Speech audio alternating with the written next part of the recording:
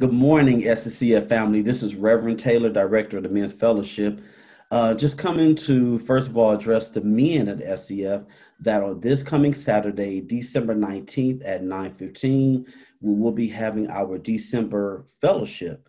And the topic, which would be a discussion on what has 2020 meant to you, both good and bad. So we just want the men to join in and share uh, what this what this year has meant to you. I know we've gone through some tough times, but um, many have uh, experienced both good and bad, and we just want to share.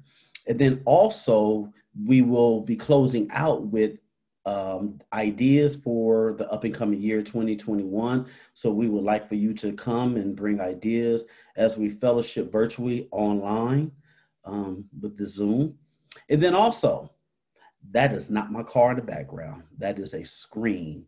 So, Brother Marks, this is for you. Again, we invite all men to join with us on this coming Saturday, December 19th, which is also my birthday, at 9:15, as we fellowship um, and and just share what 2020 has meant to us, uh, meant to you individually, both good and bad. All right, looking forward to seeing you. God bless. Merry Christmas and Happy New Year's to everyone. Take care. Bye.